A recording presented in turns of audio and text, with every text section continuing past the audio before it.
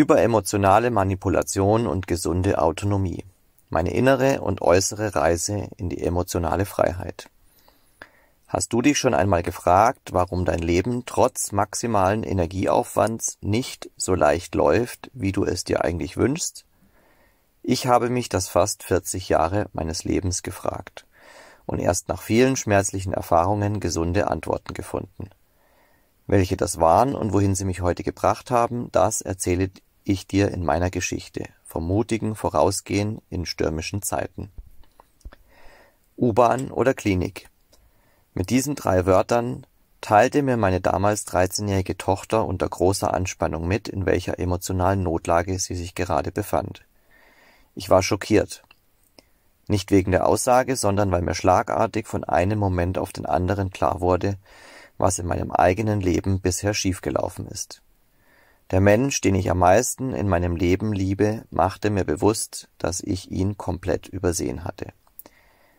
Ich war so sehr mit mir selbst beschäftigt, hatte mich so sehr in den Aufbau einer idealen Welt verrannt, dass ich gar nicht mehr wahrnahm, worin die wirklich wichtigen Bedürfnisse meiner Liebsten eigentlich bestanden. Ich bin Jungvater geworden, war damals gerade mal 20 und schrieb gerade mein Abitur, als Coralie das Licht der Welt erblickte. Der schönste Moment meines Lebens, den ich niemals vergessen werde. Gleichzeitig war ich noch so sehr mit mir selbst beschäftigt, dass ich noch gar nicht wusste, wohin ich in meinem Leben eigentlich wollte. Gleichzeitig fühlte es sich komplett richtig an, meiner Tochter das Leben zu schenken und sie nicht abtreiben zu lassen eine der wichtigsten intuitiven Entscheidungen meines jungen Lebens, die ich im vollen Vertrauen traf. Denn auch wenn ich damals noch nicht wusste, wo ich selbst eigentlich einmal hin wollte, so spürte ich doch, dass es so sein soll, dass sie auf die Welt kommt.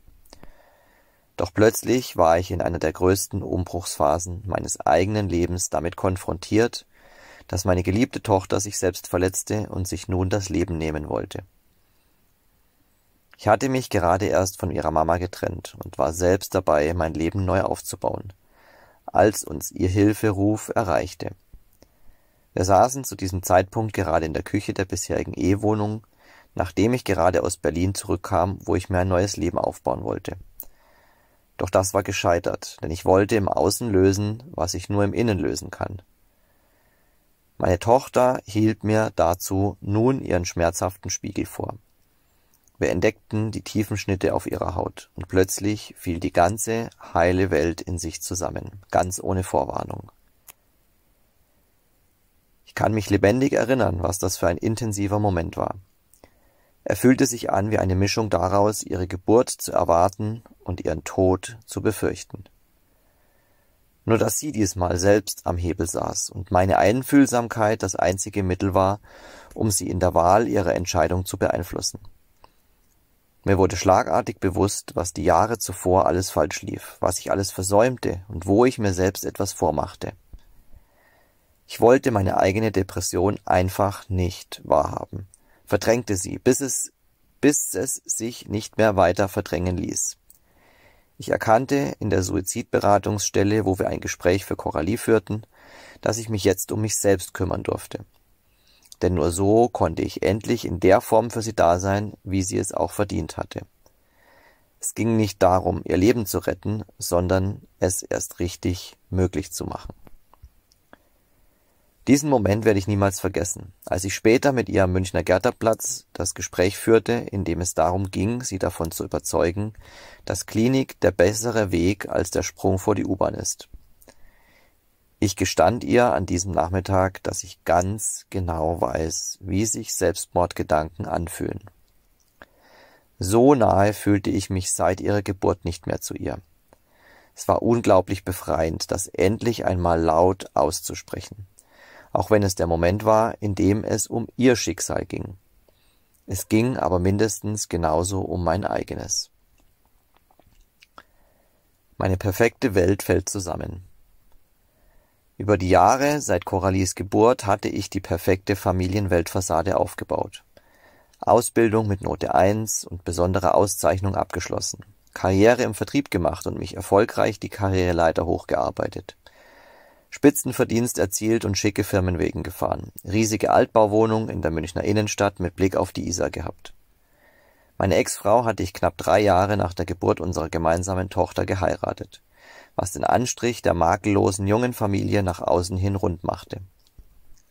Beruflich hatte ich große namhafte Kunden, wurde in strategische Unternehmensentscheidungen einbezogen und mehr oder weniger in meiner Kompetenz respektiert. Ich kam, wann ich wollte und ging, wann ich wollte. Naja, so interpretierte ich es, damals zumindest. So entstand jedenfalls eine Komfortzone, in der ich mich bequem ausdehnen konnte, um das Geld nach Hause zu bringen, das das schicke Münchner Stadtleben ermöglichte. Dazu kam dann noch ein kleiner Rassehund, der unsere junge Familie im Herzen verband. Doch was dabei nicht nach außen drang, war meine innere Zerrissenheit. Das Damoklesschwert, das immer über mir hing, wenn ich mir meine Bettdecke über den Kopf zog und nicht mehr weiter wusste. So lag ich dann einen Tag oder zwei im Bett darauf wartend, dass irgendjemand kam und mir meine unausgedrückten Bedürfnisse von den Lippen ablas. Doch stattdessen erlebte ich das Gegenteil und verlor mich immer weiter in dieser selbstgemachten Abwärtsspirale der tiefen Dunkelheit. Wir seien Meister darin, so zu tun, als ob alles in Ordnung wäre und wir gar keine Probleme hätten. Das sagte uns der behandelnde Psychotherapeut in der Klinik, als wir dort nach der Einlieferung unserer Tochter in der geschlossenen Unterbringung über den weiteren Therapieverlauf sprachen. Das machte mich damals ziemlich perplex, da er damit einen offensichtlichen Selbstbetrug aufdeckte. Schlagartig wurde mir bewusst, was in meiner Familie alles unter den Teppich gekehrt wurde und welche Rolle auch meine Eltern dabei spielten. Das wahre Ausmaß sollte mir aber erst später bewusst werden. Doch bereits an dieser Stelle meiner Geschichte machte mir der Therapeut das Angebot, einmal ein Gespräch mit mir und meinem Vater zu führen. Er erkannte offensichtlich Zusammenhänge, die mir erst heute wirklich in der Tiefe bewusst sind. Wahrgenommen habe ich dieses Angebot jedoch bedauerlicherweise nie. Auch wenn meine Ex-Frau und ich damals gerade selbst nach 15 gemeinsamen Jahren unseres Lebens in der Trennung steckten, so zogen wir jetzt doch gemeinsam an einem Strang. Das kam der Genesung von Coralie glücklicherweise sehr zugute und brachte auch uns beide bis heute auf eine wertschätzende Ebene, auf der wir respekt und würdevoll miteinander umgehen. Doch meine kleine perfekte Welt brach in diesem ganzen Chaos auf einmal zusammen. Als ich selbst gerade alles aufgegeben hatte, meinen langjährigen sicheren Job, meine schicke Münchner Ehewohnung, meine Band, meine langjährige Ehe, damit meine kleine Familie und irgendwie auch meine Tochter. Ich stand vor dem Nichts. Kein Job mehr, keine Wohnung, kein Hobby, keine intakte Familie mehr. Neustart. Nach der Rückkehr von einer gescheiterten Beziehung in Berlin, die ich gerade einmal zwei Monate physisch in engstem Zweiraum aushielt, zog ich kurzerhand in das frei gewordene WG-Zimmer meines langjährigen Freundes aus Teenagerzeiten. Wir hatten bestimmt zehn Jahre lang kaum Kontakt und ich hatte das Zimmer und die Wohnung zuvor noch nie gesehen. Doch als feststand, dass ich dort einziehen konnte, sagte ich aus dem Bauch heraus sofort zu. Mein gesamtes verbleibendes Leben passte zu diesem Zeitpunkt in einen kleinen Transporter. Ich war dankbar für die einzigartige Gelegenheit, die mir in dieser Phase meines Lebens irgendwie den Arsch rettete. Die größte Verantwortung meines Lebens. Während also meine Tochter in der Klinik ihr Leben gerade neu sortierte und ich meinen Lebensmittelpunkt restrukturierte, begann die Suche nach einem Therapeuten für meine eigene Psychotherapie. Und in dieser Phase war ich selbst oft auf Achterbahnfahrt, hatte immer wieder Tiefs gefolgt von Hochs. An manchen Tagen fühlte ich mich kraft- und machtlos, sah keine Perspektive und Zukunft mehr. An anderen Tagen schöpfte ich frischen Mut und Lust, meine Zukunft neu zu gestalten. Es ist bis heute selbst für mich unglaublich, dass ich genau in dieser Zeit den bis dato höchst bezahlten Job mit der größten Verantwortung meines bisherigen Lebens angenommen hatte. Denn als ich für das Bewerbungsgespräch nach Frankfurt am Main flog, um dort den englischsprachigen Boss zu treffen, fühlte ich mich selbst nicht einmal sicher, dass ich überhaupt irgendeine Chance darauf hätte. Ich war in einem ganz schlechten Kontakt mit mir selbst, spürte mich nicht gut und konnte demzufolge auch nicht beurteilen, wie ich nach außen hin wirkte. Nach dem Gespräch dachte ich, das war's, die nehmen mich nicht. Doch überraschenderweise bekam ich einen Anruf mit einer Zusage. Also wurde ich Sales Director Germany für ein renommiertes US-Unternehmen und war in kompletter Eigenverantwortung für den Aufbau des gesamten deutschen Marktes zuständig. Mein Einstiegsgehalt lag bei 120.000 Euro, später sollte ich sogar bis zu 160.000 Euro verdienen. Ich lernte das Who is Who der deutschen IT-Sicherheitsbranche kennen, verhandelte Rahmenverträge mit den CIOs der deutschen Wirtschaft und stürzte mit hochrangigen Vertretern der Hackerszene in Rockkneipen in Amsterdam, Berlin, London oder Prag ab.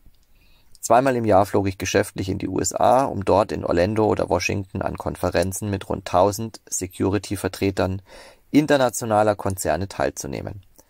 Ich werde es nie vergessen, wie ich das erste Mal im Disney Hotel in einem Konferenzraum mit circa 20 Amerikanern unterschiedlicher Dialekte an einem riesigen Eichentisch saß, um die Umsatz- und Wachstumszahlen des vergangenen und kommenden Jahres zu besprechen.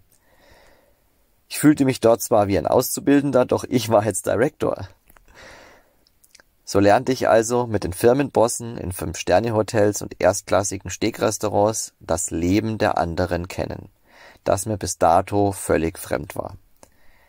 Irgendwie fühlte ich mich dort wie ein Alien, doch mein Titel und Arbeitsvertrag bezeugten schwarz auf weiß, dass ich jetzt eine tragende Rolle beim Aufbau eines internationalen Unternehmens innehatte. Ich konnte es noch nicht so richtig glauben, denn meine innere Stimme erzählte mir etwas anderes. Als ich mit den beiden anderen neuen Kollegen aus Großbritannien und dem Mittleren Osten an einem Stehtisch in der Lobby stand, spekulierte unser Boss noch spaßhaft darüber, wer von uns dreien wohl als erstes aussteigen würde. Nach außen hätte ich es zu diesem Zeitpunkt wohl nie zugegeben, doch innerlich spürte ich bereits jetzt ganz klar, dass ich das sein werde. Denn ich fühlte mich wie ein Fremdkörper im System, wie ein Spion im Feindesland, der nur mal kurz zu Besuch dort war, um zu schauen, wie es denn da so ist. Und ich sollte Recht behalten, denn nach knapp zweieinhalb Jahren erfolgreichen Geschäftsaufbaus und in die Höhe schießender Umsatzzahlen, aber weiterer innerer Entfremdung aus einem narzisstischen System sollte ich dort abgelöst werden. Auch wenn der Erfolg und das Wachstum eindeutig für mich und meine Leistung sprachen, so wurde ich doch zunehmend unbequem für die geld- und machtgierigen Firmenbosse. Die entschieden nämlich, trotz vertraglicher Vereinbarungen, mich am langen Arm verhungern zu lassen und einfach nicht zu bezahlen. Es fühlte sich an wie David gegen Goliath. 80.000 Euro allein an Provisionen für Millionendeals mit namhaften deutschen und internationalen Großkonzernen standen offen. Doch die Bosse entschieden mich einfach zu kündigen, obwohl es jeglicher Rechtsgrundlage entbehrte und vor keinem deutschen Arbeitsgericht Bestand gehabt hätte. Doch die Vertragssituation war komplex und meine damalige Anwältin, die selbst gerade in einen Burnout steuerte, vertrat mich mehr schlecht als recht und verspielte Chancen. Es fiel mir damals schwer, darin das Geschenk zu entdecken, doch heute kenne ich es und bin unglaublich dankbar dafür. Denn ich war an goldene Ketten gelegt, die ich selbst niemals hätte sprengen wollen.